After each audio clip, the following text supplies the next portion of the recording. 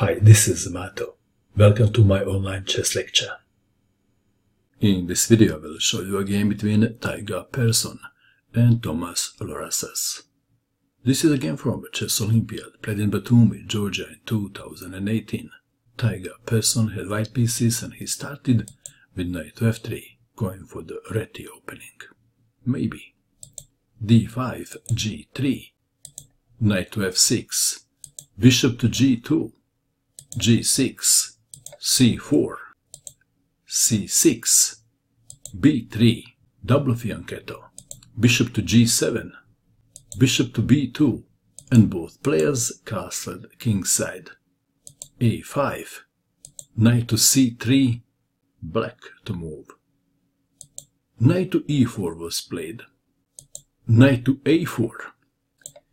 Well, if knight takes on e4, then bishop takes on b2 and black wins.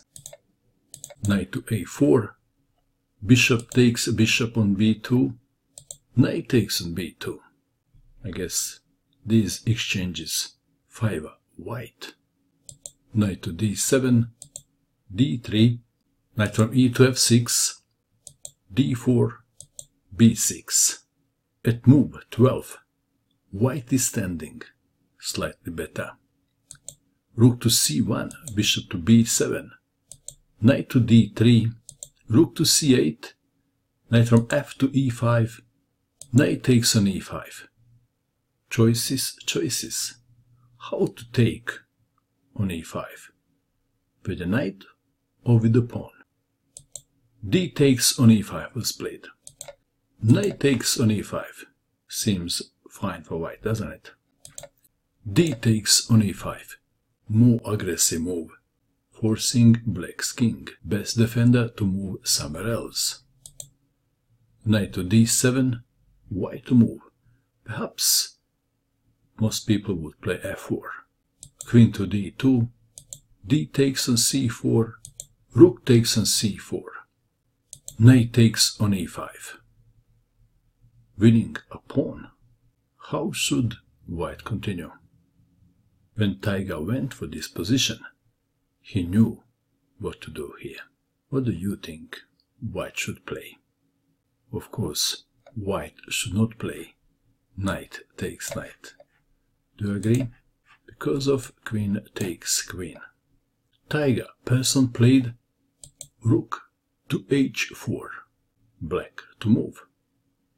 h5 was played. Let's take it back. What is wrong with knight takes on d3? How would you continue this position if you had white pieces? Then queen to h6 is deadly. If rook to e8, queen takes on h7 check, and after king to f8, queen to h8, check, mate. Back to our game. After rook to h4, we have h5. Rook to d1. Knight takes on d3. Choices again. How to capture the knight? What will you do? Tiger Persson played queen to h6. Very clever move, isn't it? The knight is pinned. Queen to d6. Rook takes on d3. Queen to f6. Who is better? White or black? Black is better. Materially. One pawn. But white pieces are better placed. Or, if you wish, more aggressively placed. For example, compare white rooks and black rooks. Also, white bishop is better than black bishop, especially after white's next move. Bishop to e4. Bishop to a6. Attacking the rook. What is the best place for the rook? Or perhaps white should play rook takes pawn on h5. If rook takes pawn on h5, then black would not take with the pawn. Black would play queen to g7, and black is better. Back to our game. This is the position. What is better? rook to e3 or rook to f3. What would you do? Rook to e3 was played.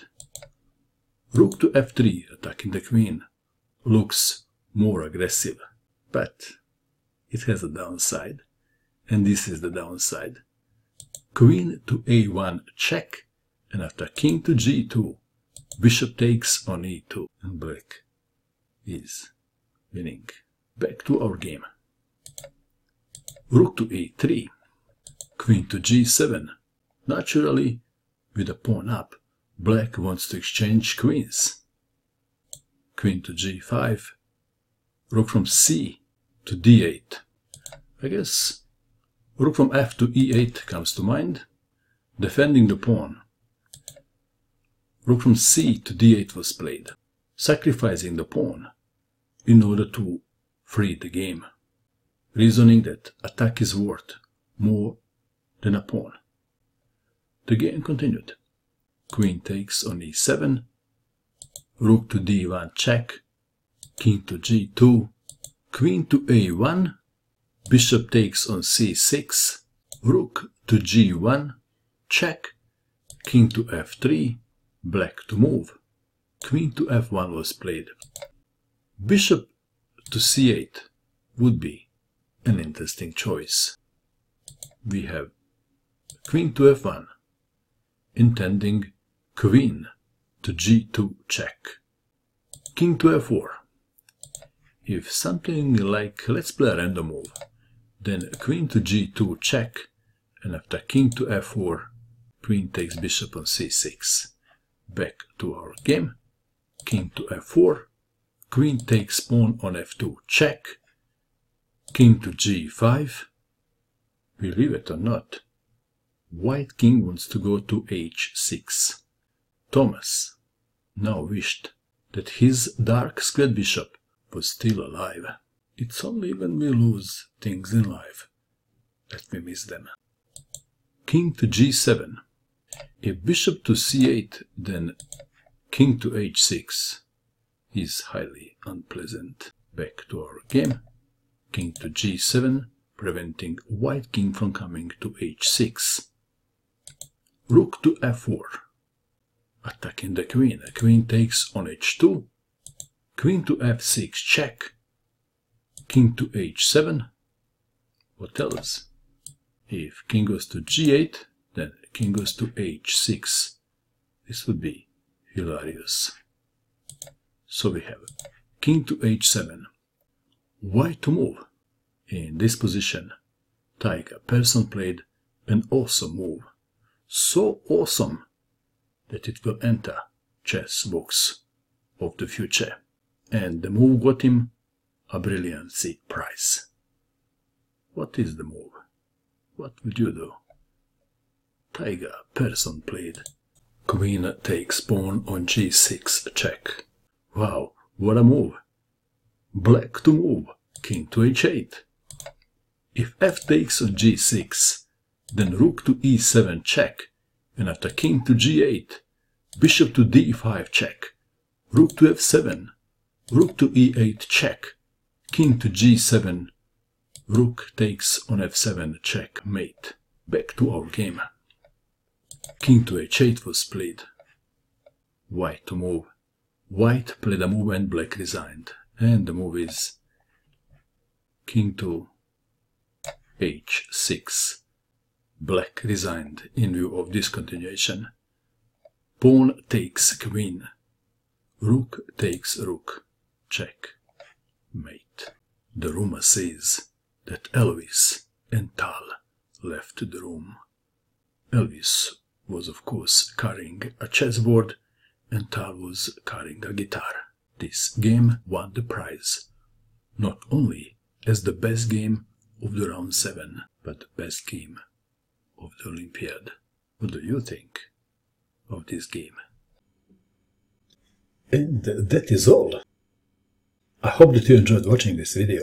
I wish you good luck with your chess and bye for now.